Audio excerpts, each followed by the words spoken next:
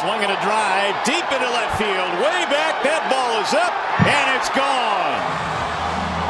That's a way to extend your hitting streak. Jhonny Peralta is homered for the sixth time. Also, the Tigers' extra base streak also extended. 11 game hitting streak now for Peralta as Francisco serves one up. Now it's 4 to 2. Well, Jhonny knew he was going to get a fastball here from Francisco. It's a three run lead. He threw it right down the middle, and Jhonny did exactly with that pitch what you should do with it. You should hit it hard somewhere.